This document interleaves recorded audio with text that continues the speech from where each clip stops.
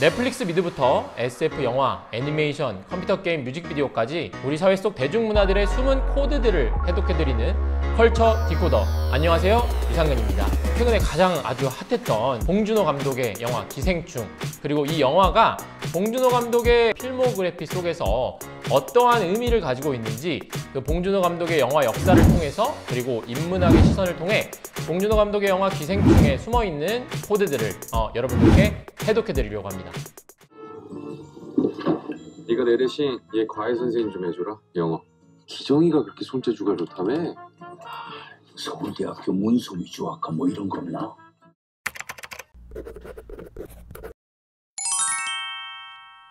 기생충 저도 굉장히 재밌게 봤고 워낙 요즘 화제가 됐잖아요. 뭐 BTS랑 막 손흥민이랑 같이 지금 까방권을 얻었다고 하는데 봉준호 감독이 아직 좀 얘기 안 된 부분들 아직 좀 많은 사람들이 좀 생각하지 못했던 것들 근데 제가 볼 때는 그 봉준호 감독 영화 그 전작들의 이 연장선에서 좀 비교를 해보면 그 봉준호 감독만의 영화에 나오는 어떤 그런 코드가 있거든요. 이 기생충이라는 영화만이 갖고 있는 독특한 어떤 특징, 다른 영화나 다른 장르의 이 전통 속에서 볼 때 그런 부분들이 아직은 좀 얘기가 많이 안 나온 것 같아요.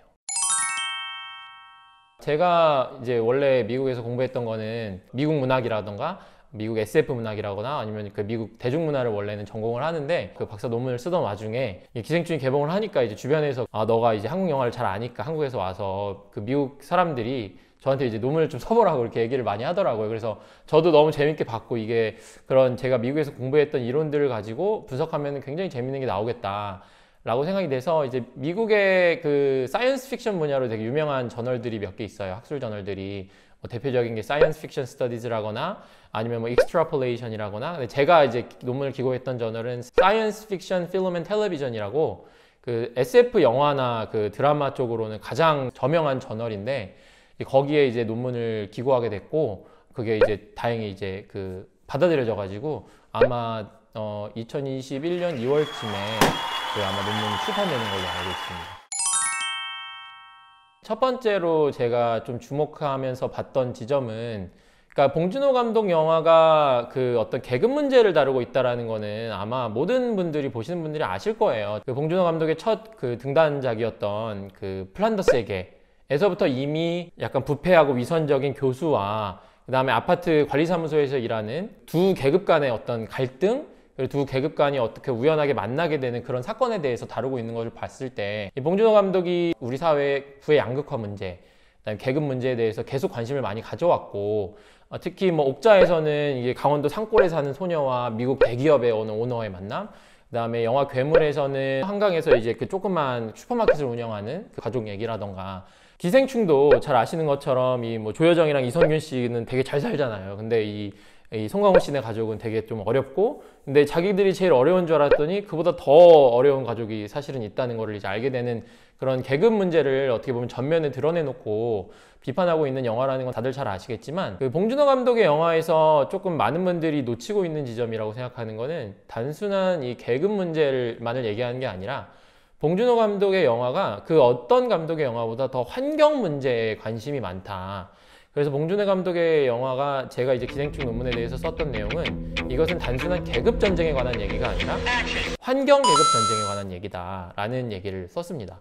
환경 계급 전쟁이라는 말을 쓰면서 제가 이제 하고자 했던 얘기는 단순하게 이 두 가지 다른 계급이 얼마나 서로 다른 삶을 살고 있는가의 문제뿐만을 다루는 게 아니라 봉준호 감독은 첫 작품부터 계급의 양극화로 인한 어떤 환경적 유해성의 차이 혹은 서로 얼마나 다른 환경에서 거주하고 그것이 우리의 신체 내에 얼마나 많은 변형을 가져오는가. 그래서 몇 가지 예를 들어 드리면 봉준호 감독의 영화 전 작품에 마치 시그니처처럼 계속 등장하는 장면이 있어요. 그게 뭐냐면 소독차거든요. 그 우리가 옛날에 속, 속된 말로 그 방구차라고 했던 그 예전에 동네에 보면 아파트 단지마다 이제 소독 가스 내뿜으면서 돌아다니잖아요. 플란더스의 개 영화를 보신 분들은 아마 기억하실 텐데 교수 역할을 하셨던 이성재 씨가 그 운동장에서 이렇게 강아지랑 서 있을 때 그 소독하는 공무원이 이렇게 지나가고 그 연기가 화면을 가득 채우게 되고 그게 끝나고 나니까 같이 있던 강아지가 굉장히 괴로워하는 장면이 나오고 영화 괴물에서도 그, 그 한강에 괴물이 있다는 걸 알게 되니까 대대적인 방역 작업을 하죠. 그리고 기생충에서도 소독하는 공무원이 지나다니면서 집 안이 가스로 가득 차거든요.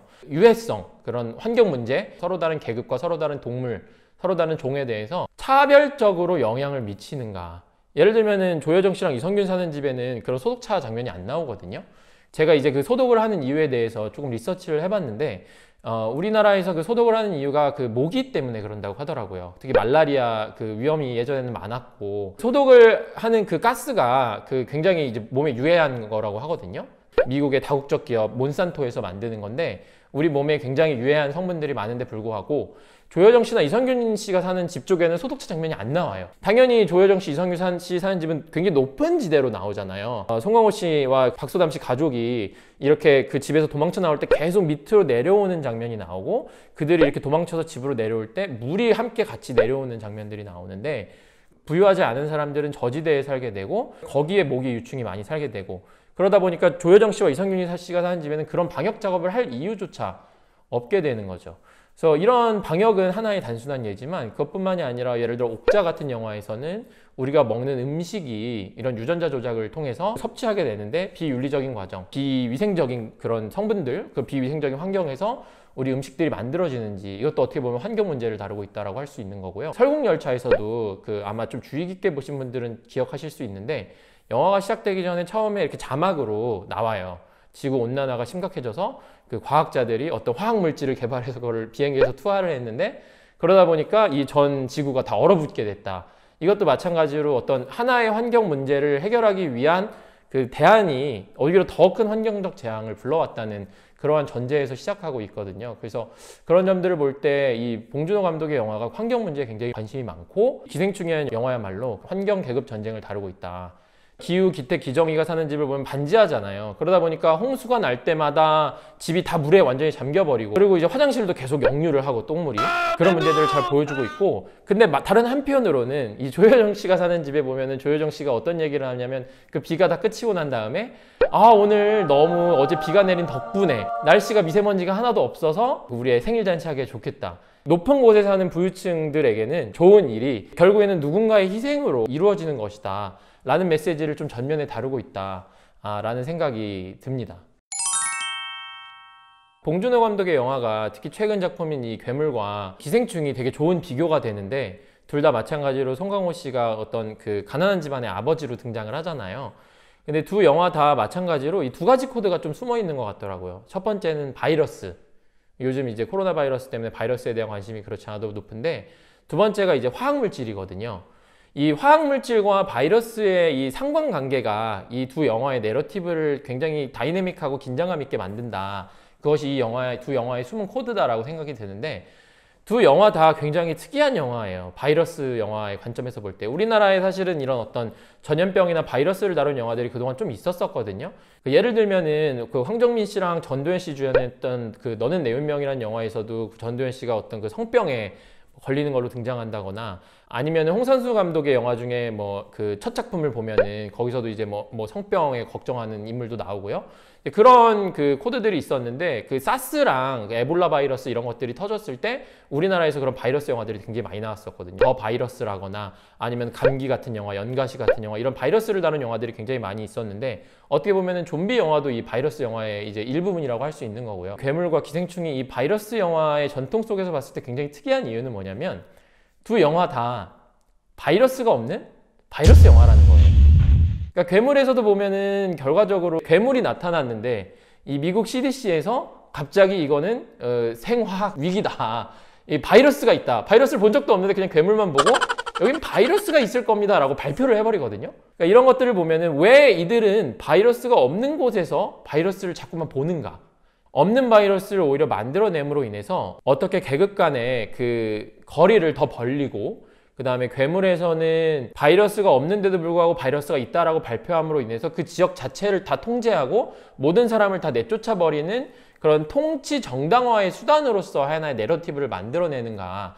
그런 것들을 봉준호 감독이 보여준다라고 생각을 하고 이러한 바이러스가 없는데도 불구하고 바이러스가 있다라고 얘기를 하거나 혹은 바이러스가 있다라고 생각함으로 인해서 어, 화학 물질을 과도하게 사용하는 것을 또 정당화하는 수단으로 활용이 되는 것 같거든요. 이 DDT라거나 아니면 TCDD 그 실제로 우리가 베트남전이나 아니면은 실제로 미국에서 한국에서 우리가 오랫동안 써왔던 화학 물질들이 영화에 등장하는데 이 두 가지 화학 물질들은 단순히 어떻게 우리가 위생적으로 우리에게 도움을 주는 그런 것들이 아니라 이거는 어떤 회사가 자기의 이득을 위해서 만들어 파는 상품이기도 하거든요. 이 괴물에 나오는 그 두 가지 화학 물질, 그러니까 Agent Yellow에서 나오는 어, DDT와 그 다음에 그 한강에 방류하는 그 TCDD라는 물질은 둘 다 그 미국의 다국적 화학기업 몬산토에서 만드는 물질이고요.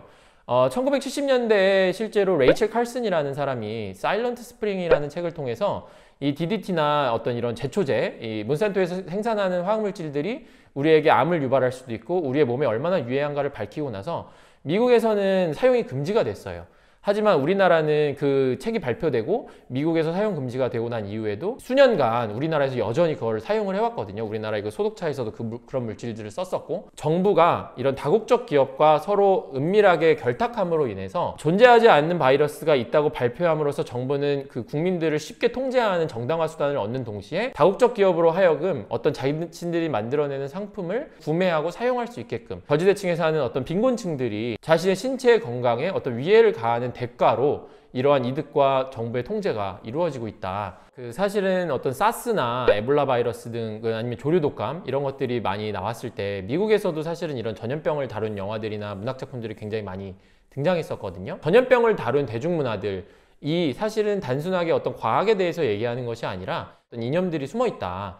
예를 들어 미국에서 나온 전염병 영화들 같은 경우에는 대부분의 전염병의 근원지로 아프리카라거나 아시아, 중국 이런 국가들이 비위생적이고 비과학적이기 때문에 이렇게 우리 서구의 나라들에까지도 전염병 영향을 주었다라는 식의 인종차별적 내러티브 혹은 성차별적 내러티브들이 많이 숨겨져 있거든요. 그래서 어, 프리실라 왈드라는 그 듀크 대학교에 있는 교수가 Contagious라는 어, 책을 썼는데 이 책에서 그러한 내용들을 굉장히 잘 분석을 하고 있어요. 여러분들이 이러한 내용들에 대해서 이 영상을 통해서 생각을 해보신다면 앞으로 그런 얘기들을 볼 때 혹은 봉준호 감독 영화를 볼 때 더 그런 것들을 잘 찾고 재밌게 보실 수 있지 않을까 그런 생각이 들고요. 어, 그래서 세 가지 숨어 있는 코드는 첫 번째 어, 단순한 계급 전쟁을 다루고 있는 게 아니다. 그러니까 환경 계급 문제를 다루고 있다. 두 번째는 바이러스가 없는 곳에서 바이러스를 발견함으로 인해서 어, 국민 통제의 수단으로 삼는다거나 어떤 이윤을 더 극대화하는 다국적 기업의 어떤 정당화 수단으로 삼는다거나 혹은 계급 간의 격차를 더 벌리고 없는 바이러스가 어떻게 우리가 상상적으로 활용되고 있는가. 그리고 세 번째는 어떤 이게 화학 물질들이 우리 사회에서 굉장히 이제 그 큰 문제로 야기가 되고 있고 어떤 포름알데히드라거나 어떤 그 소독차에서 나오는 가스라거나 DDT라거나 그러한 것들이 이 서로 다른 계급에 서로 다른 식으로 영향을 미치고 있고 이 계급에 대한 양극화가 단순하게 어떤 부의 어, 격차 문제에서 그치는 것이 아니라 우리 신체까지 영향을 줘서 결국에는 회복 불가능한 영향을 우리 몸에 남기게 된다. 봉준호 감독이 얘기하려고 하고 있는 게 아닌가. 그래서 이 기생충의 23가지 코드로 그세 가지가 아, 있다라는 생각이 저는 들었습니다.